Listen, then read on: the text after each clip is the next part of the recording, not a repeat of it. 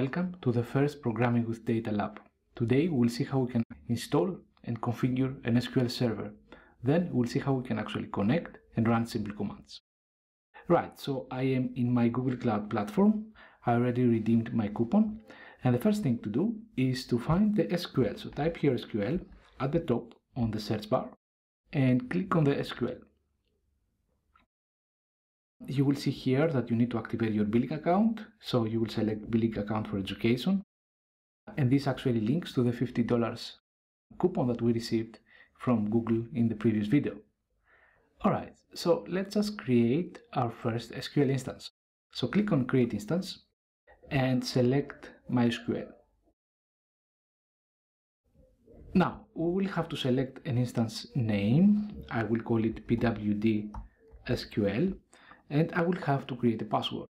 The password will help me to connect remotely to the SQL server. In our case, I will just create a simple password and 1 to 9. Um, then MySQL 8 is selected as a version. I will click on the development, that is a more light environment for us to create. Then I will just leave it as it is. I will close this small window here and I will say create instance. Now click on it and the instance will start uh, to be created and it will need a couple of minutes in order to be ready for us to access it.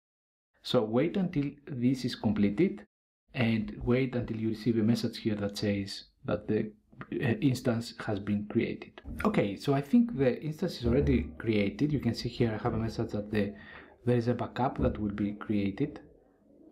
So what I will do, I will open my Cloud Shell now and I will try to connect to this instance.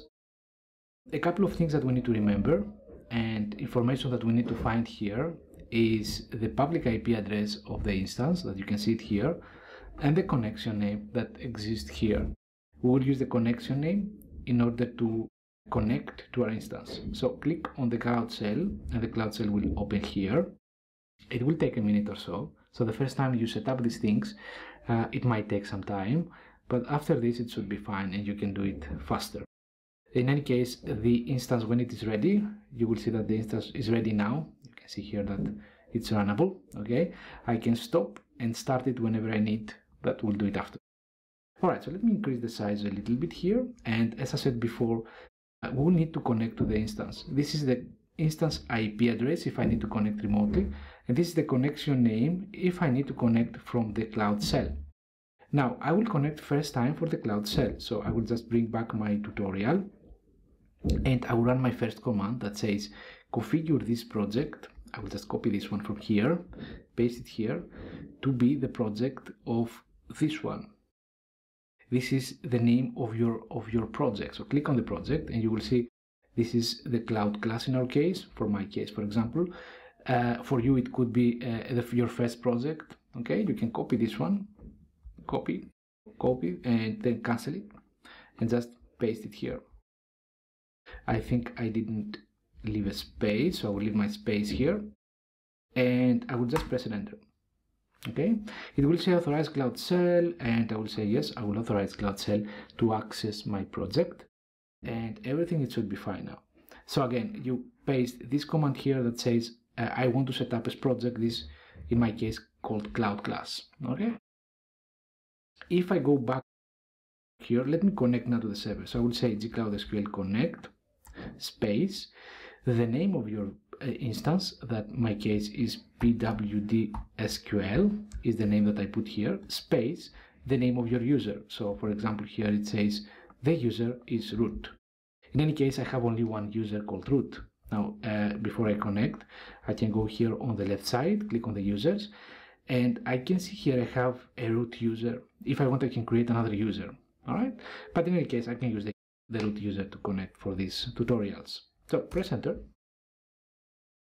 It says here, would you like to connect? Yes, I will type Y and press enter. Now it will start enabling some services in order to connect to the SQL server using the Cloud Shell. Now, we will have to wait for a minute or so again for the connection to be established through this security layer that goes from the Cloud Shell to the Google Cloud. And I hope you remember your password because we'll need to use the password now in order to connect to the instance. Okay, so to connect to the instance, I will just have to type my password. Please note that while you are typing, you don't see anything. Okay, I just type it, you don't see uh, wildcards or anything, right? Just press enter. And if you do it correctly, you can see that your MySQL is now activated. I can increase my window now, and this is my SQL. MySQL is up and running and is running on the Google Cloud Platform. I can run my commands and keep everything here well organized. Now, if I bring back my tutorial, in this case, I will just put it on the right side and I will start putting my VM on the left side. Maybe I can reorganize a bit better here. Um, I will have to follow the tutorial from the right side and see how I can actually start interacting with uh, SQL Server. For example, if I click here, um, I can press uh, Control and L to clear the screen. Control and L, okay? Yeah, I can clear my screen, I can start with a fresh screen. So, databases and the semicolon presenter. You can see here the database. These are pre-installed and pre-configured for you, okay? Um, in any case, I will create a new database and use it, and then I should use only my own databases. For example, here in question number five, it says create a new database called FilmDB. All right, so I have to type here create a database called FilmDB, and then don't forget the semicolon and then press enter. Every time you create something, you don't really see an output. Maybe you see something like uh, OK. That means that everything has been created OK.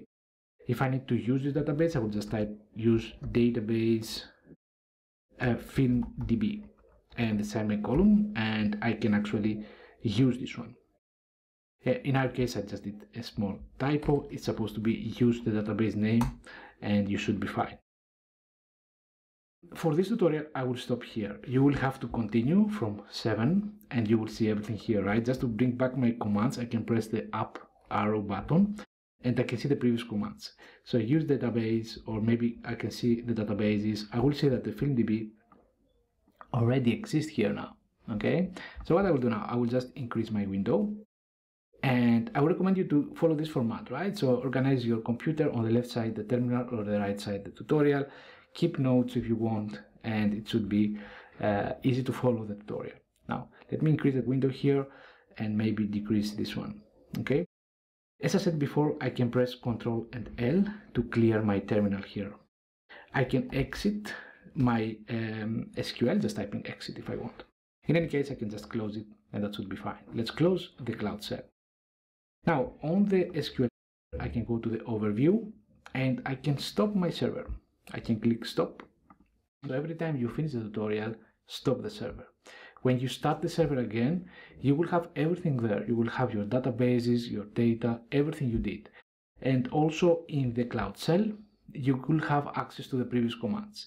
You do that, you have to press the up arrow button. In any case, you will have everything in the tutorial so you can always go back and find out what you did before. So when the VM will be stopped, you will see here again a start button so you can actually start it. It says the instance is now stopped and you can actually start if you want clicking the start button. Again you will start it just click and you say yes i want to start. And then when it starts it will take less time because the first time we started we actually created it. So in this case uh, it will take less time. But in any case we have always to wait for this to be ready for us to access it. And when you see here your instance is up and running, you are always good to go. And yeah, that would be all for the first um, tutorial. I hope you are ready now to start working with your SQL queries and please make sure you always stop the server whenever you finish your tutorial. I will see you soon in class. Thank you.